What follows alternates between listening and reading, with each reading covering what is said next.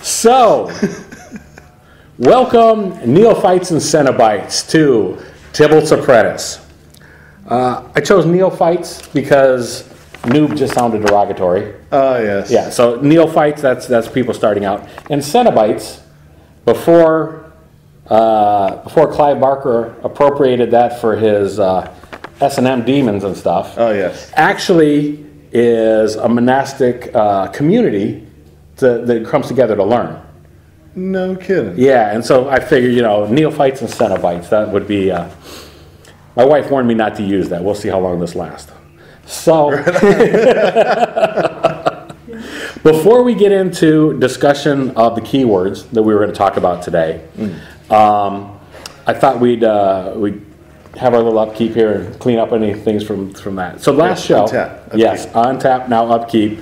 Um, episode 30 will go down as the cursed episode. Um, that one was just went online today. Oh, Um, okay. yeah, yeah, anything that could possibly go wrong with that um, did. So that was me opening up the Planeswalker deck and taking a look at it. Now, last time you and I sat down and we looked at right what we would uh, what we would upgrade and stuff. Um, this time I did an opening. I did the uh, the cards, and I tried to make improvements based just on the uh, the packs that I gave, came with it and stuff. So I did some playing and stuff, and then of course the sound went out on that. And just you can Oh, go back. There should be a link to this. You you can see the whole thing if you choose to. Um, but I talked about that, and I got a chance to open the uh, the premium pack too. So Oh, I got nice. some cool cards in there. Oh, nice. So, um, anyhow, uh, one other thing too, if you want to support the show until we get our Patreon running and so on, uh, check out Mirkwood Trader. Um, you can find all kinds of cool stuff there, mostly necklaces and so on, but you'll find some spin down necklaces there. Um, know, maybe flash that up on screen, we can see that. So that'll help support the show in the meantime. Uh, like I said, we are trying to build a community, so be sure to like, comment, and subscribe. But, uh, well, let's get on to keywords. Oh, yeah. So, some time ago, Brian brought up keywords, what my favorite keywords were. And I completely screwed it up by not answering the question because I immediately went for effects and mechanics and so on. So, I did a lot of extensive research and compiled a list of all the keywords in Magic. Um, and by All the extensive, best ones are on there. all the too. best ones, absolutely. They're all on here. At this up, up to this point, I think there's maybe the new four things that are in uh, Throne of Eldraine that aren't on here yet. Ah, yes. Um, and by extensive research, I of course mean I, I went to uh, to Yahoo, typed in keywords, and I printed out the list. But here is the list. Um, I gave you some kind of vague instructions, which were to choose five keywords yes. and keywords from the expert level expansion. Um, I also was lucky enough to be able to ask both Brian and Josh. And the reason I gave those vague instructions was I wanted to see where we overlapped without any. Oh, you nice. so the play group, Okay. you know what I mean? Who who's going to pick the same thing? So um, I've got five to talk about. You've got five to talk about. Now we want to revisit this topic probably pretty soon All right. and talk about specific keywords for commander. Okay. And what I what I would like to add to that is specific car. Well, uh, we'll get to that later. We'll get to that later. That comes right. Okay. Okay. I have a list here. I'm going to go down it in just alphabetical order, if that's cool. At least One by one. one by one. My first thing that, of course, I want to talk about is buyback. Okay. Buyback is simply an awesome mechanic that I allows agree. you to spend that extra mana and get that card back.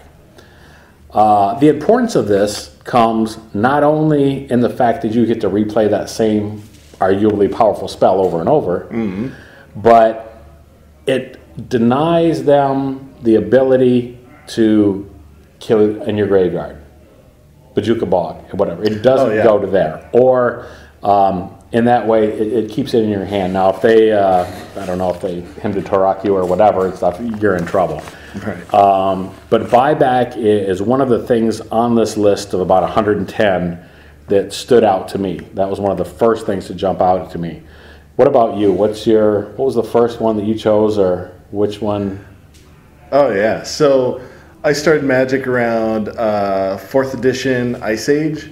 So the keyword that stuck out to me was cumulative upkeep. Ah, Now, cumulative upkeep. I mean, it, it makes sense in a Right. way because you know you, you you have this powerful effect usually on an enchantment or something like that, Mm-hmm. and and for in order for you, the planeswalker, to keep that uh, enchantment out, you have to focus your magical energy into keeping it out. okay, And so, um, so yeah, I think it's a pretty cool mechanic in that sense. okay.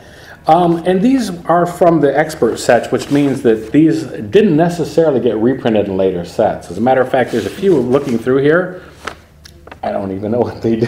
Oh right, yeah. You know what I mean? So um, you don't see a lot of um, cumulative upkeep these days on cards, but um, they are there. And if you're playing Commander, you've got to be ready for it because that's something that's going to be potential at any point to, to encounter.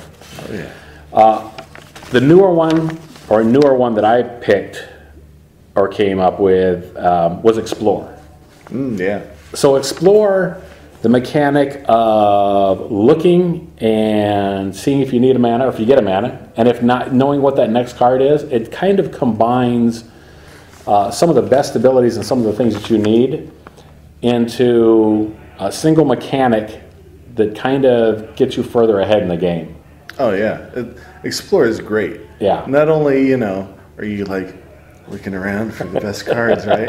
But like, okay, so at at worst you um, decide whether you want your next card or not. Right. If you don't want it, you put pitch it into the graveyard. Um, at best, you know you, you get to draw that that land card and Right. get it out of the way. Right. Right. Um, maybe you need that mana. You can play it out. This is usually what happened, and of course, since this is one of the more recent ones that was being played a lot through um, through the Ixalan block and so on. So I made great use of that in numerous decks recently. Um, what else did you have? Well, you know, talking about Explore, like there are a lot of cards that took advantage of Explore and, and triggered on, on Explore as well. Right, So absolutely, that's, you know, that kind of dominated the meta for a second. for sure, for sure. Um, the next, or the next mechanic is, uh, for me, is Echo. Echo. now, Echo, I have a love hate relationship Okay, with I, Echo. I'm glad that you went that direction Yeah. with it because I, I I don't like Echo, so I'm interested in hearing what your love because I mostly have a hate relationship with Echo. Yeah, so Echo came out during uh, Urza's block. Mm-hmm. I think it was Urza's uh, Destiny, I want to say, or Mm-hmm. Urza's Saga, maybe. Okay. But anywho, so Echo, you uh, you cast a spell. It could it, it was a uh, permanent spell, so Right. whatever stayed out on the field, and um, you had a uh, second cost that you had to pay during your next upkeep Right. to keep that permanent in play. Otherwise, you sacrificed it. Right. So, you know, me back then, I was I was like the biggest Timmy. There was this one um, card called Cradle Guard, Uh huh. which was an uncommon. Mm-hmm. It was, um, I believe, it was three mana, two green and a generic, Right. and it was like it was like a. Um, a four-five creature, something like that. Uh-huh. It was pretty big. It was pretty beefy for its stats. Okay. For its cost. For its cost, But you had okay. that echo cost Right. afterwards that tied up your next turn. And that's where the hate part comes in. because yeah, you, you have this, you know, you have this uh, above rate creature or, or permanent, Right. but then you tie up your next turn, Right. keep keeping it out there. So, Any way to get around that? At that time, we talk a little bit, and the reason we bring this up too is just the power creep, the level of, of cards that are out there and the abilities. Um, some of these things were keywords, were, were drawbacks that you can just circumvent these days and stuff. Was there any way back there that you were able to, to circumvent that, or were you just willing to commit? so here, I mean, so certain cards had impact when they first, when they came into the battlefield. Right. And so whether you paid the echo cost or not wasn't important. It was strong already- enough that, You already got the the benefit from them coming into the battlefield. okay. Um, as far as like circumventing the cost on, on the next turn, um, not really. Like especially like take that cradle guard for example. Like it was just a big dumb creature. Right. If I wanted that big dumb creature to stay out, I had to pay that cost. you had to pay that cost. I'm thinking about uh, at this point if you had enough mana rocks and stuff, but usually, not always, but usually, I'm thinking that the echo creature, you're playing it for speed, you're trying to get out there, and therefore your mana is tied up.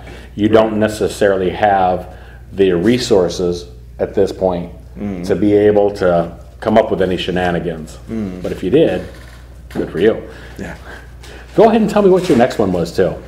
Uh, okay, so the next one is uh, rebound. Rebound. Okay. So rebound is uh, specific to uh, instants and sorceries. Um, basically, you cast one of those spells, and you exile it as it resolves. right. Okay, so you get your effect from the spell. Then during your next turn, during your upkeep, you you may uh, cast the spell without paying its mana cost. Nice. So um, so yeah, I was gonna say almost the opposite of Echo. yeah, it's it's a two for one. Yeah. it's a two for one special.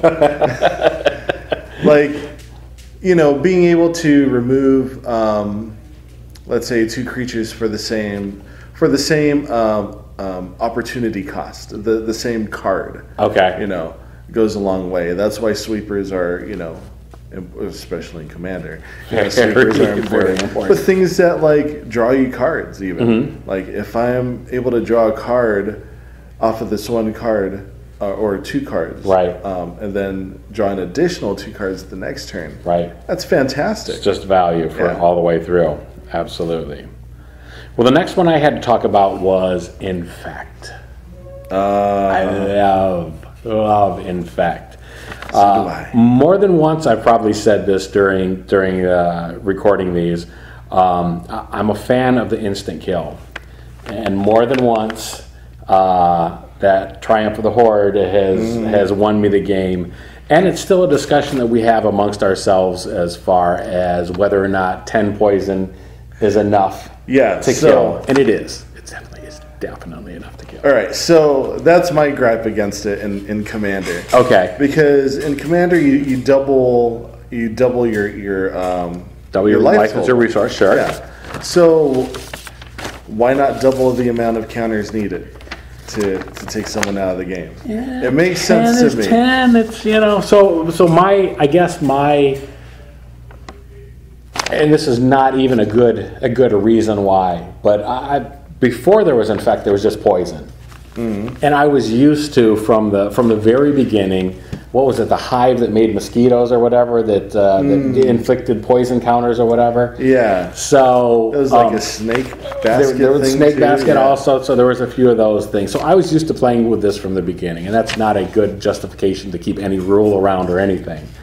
Um, but it is something that still, I won't say divides play groups, but it is something that uh, that many people have a, an opinion on, and uh, and and so on. So I, I would hate to see that uh, that go away, but. Um, It is pretty brutal. it, it can be brutal. It can be quite the surprise and stuff. What was the next one you had? Uh, transform. Transform. So just you know, I mean, transform is such a popular mechanic. You you see it all the time. Mm-hmm. Well, you see it quite a bit. Yeah. Um, you've seen it in. Um, uh, it started off in what Innistrad, I believe so. right? Yeah. Um, started off in Innistrad, and then it was um, in Magic Origins. Mm-hmm. You know, where you had planeswalkers, or before they became planeswalkers. They- yes. Then they would flip into their, you know, Into their final form or their their, their ultimate form, yeah. whatever the case may be. And so yeah, transform uh, as far as like game design Mm-hmm. is is a really interesting mechanic. You know, it, it allows the uh, um, the game designers just to go wild. Really, right. um, it, it's fantastic. So it's interesting you should mention game design because the next one that I picked was Split Second. Oh So split second, I think, is absolutely awesome. Yes. For if for no other reason, then it gives you a chance to shut off anything else that's going to happen. Being able to to Embrace the game for can. a second. Yes, Yeah. exactly. And that's awesome. Um, there's so many things that I that I dislike planeswalkers. That um, but the fact that this card will break the game and just stop, shut down whatever is happening, um, sometimes that's all you need. Sometimes you just need that momentary hiccup, that glitch, that whatever to to reestablish your board presence, to do to whatever. Split second is absolutely one of my favorites. I, I agree. Split second is pretty great in that way. Absolutely. what's your uh, What's your last one? All right, so I chose Riot. Riot. Uh, Riot's the you know it came relatively um, Relatively new, yeah. yeah relatively Yeah. new. So uh, Riot, if you don't know, is the uh, keyword from uh, Ravnica or the Return to Return to Ravnica. exactly. so uh, you know a creature comes into play. If it has Riot, you choose to either put a plus one plus one counter on it or give it haste for the turn. Another one of those things that gives you value depending on what you need or where you're at in the game. Yeah, absolutely. So it's it's- fantastic. Yeah, yeah. Uh, I can't say I'm a fan of it, but it's mostly because I'm on the other end of it and stuff. Not necessarily from this guy, but absolutely playing an arena. Oh, yeah. You absolutely see that. Um, I have one final one that I was going to talk about. Okay. Um, and then I broke my own rule because I wasn't going to talk. To While I limited you to those 110 that we were looking for, the last thing I was going to talk about was Wither, Okay. but, but it got replaced. And it got replaced with Landfall. And the reason I say replaced is because this is actually under the addendum. So it was a keyword that was around from the beginning of the game, or it was an effect that was listed on the cards, I believe, that was then assigned the term landfall. I'm completely making this up, I could be completely wrong. But I believe early in the game, there were landfall cards that just didn't have the word landfall on it. Oh, They decided to make it a keyword yeah. you can check me on this. Um, leave a comment down below if I'm completely full of. Um, so anyhow, and the reason landfall came up is, and I hate to tie this to any specific thing, but I got to say the last time we played uh, Commander, I scored with that card. I scored uh, quite well. Um, obviously, I came to win that night uh, based on the decks that I played. Uh, I dominated the night. Um, however, That was pretty disgusting. I did come to win, and somebody cruelly snatched the victory away from me and handed it to somebody else. I did. I can, I, I can respect that. I can absolutely respect that. I nothing like a good last act of defiance. I'm not even mad. I'm mostly not even mad because I came back to dominate the next game even more. And it was the landfall trigger. I almost said landfall trigger that gave me that game and stuff. I had a tremendous draw. Um, to be fair, or you were playing a new deck, you were playing something you Yeah. just decide. Um, the other person playing wasn't necessarily prepared for what happened and stuff, but landfall combined with um, uh, splendid reclamation, uh, that that was a eventful turn for me and stuff, especially Yeah. since I was playing Lord Windgrace. All those lands into the graveyard, the ability to pull all those back with landfall trigger on the table. And that kind of brings to up the point why we were talking about this, while we were talking about keywords. Um, and the main reason is one of the easiest ways, I think, to pump up your deck, to make changes to a deck, is concentrate on keywords. Okay. For, for example, the uh, okay, what's uh, what's the trickster here? I brought this up. Yeah, Oko. So when we were uh, when we were talking that night, I talked about how Oko's accomplices was a crap card. okay. Yeah. You disagreed with me, but you disagreed because you said three mana for a two-three creature isn't bad. It's great. It's got flying. It has that one Yes. keyword on there. Yes. My th- thought is it's not enough though. and this is where we're talking about the power creep, the level of the abilities of the cards mm-hmm. that we have. Back, well, I'm going to say this is where I sound like the old fogey. Back in my day, if you wanted to fly, you had to actually spend two extra mana every time. You wanted a 4 4 creature with flying, you're going to spend six mana or more. Yeah.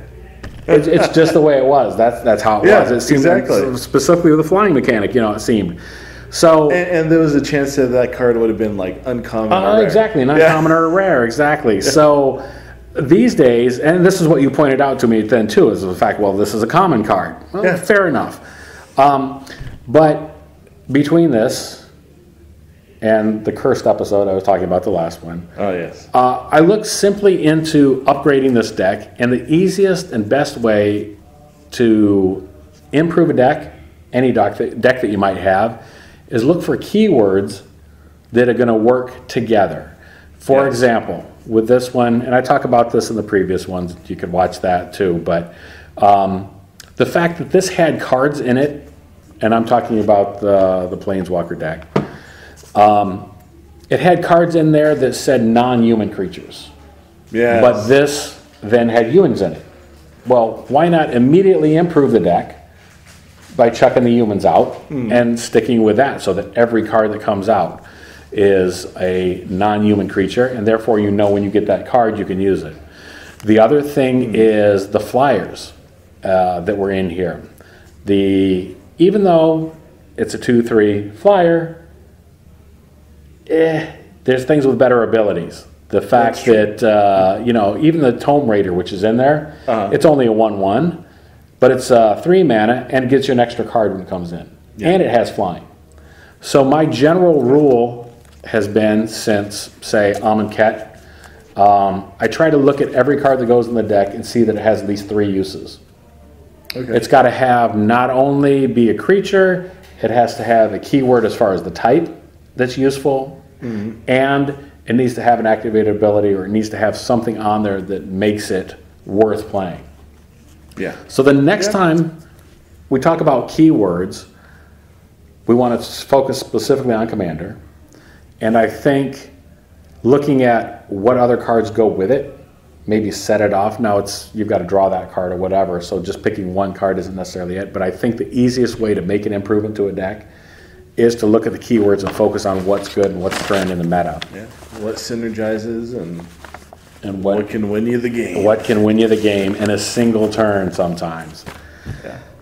At any rate, thank you very much for stopping by and talking about keywords. We'll Thanks be talking about me. some more of those uh, next time. Well, maybe not next time, but we will be talking about specific keywords that we can use to buff up our commander decks. Oh yeah. Another topic, another future topic is I'd like to talk about original commanders. What original, Original commanders. commanders. Something outside. Uh, we've all bought the commander decks. We've all buffed them up. There's different Okay. ones that are standards, but I'd like to, and anybody watching, if you have suggestions of specific commanders that you'd like to see, um, that's maybe another topic we can cover in the future. Oh yeah. Just kind of like off the beaten path commanders. Yeah, maybe? just something else that isn't uh, that isn't used. I think isn't- I think my Orzhov is uh, off the beaten path. Yeah? Commander. Yeah. we might have to take a look at that deck. then. Yeah, for sure. All right, cool. Were there some things to look forward to. Uh, again, we are looking to build a community here, so we want to hear your input. So, to that end, be sure to like, Leave a comment. comment, below. and subscribe. Cool. All right.